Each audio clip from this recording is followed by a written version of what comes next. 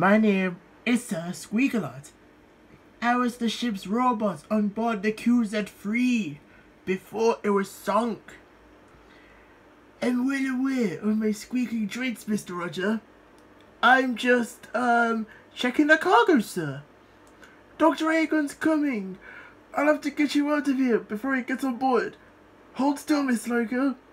My arm's killing me. One lump or two. I'm not asleep, Mr. Spruggle. I'm charging me batteries. Certainly, sir. Yes, Miss Loco.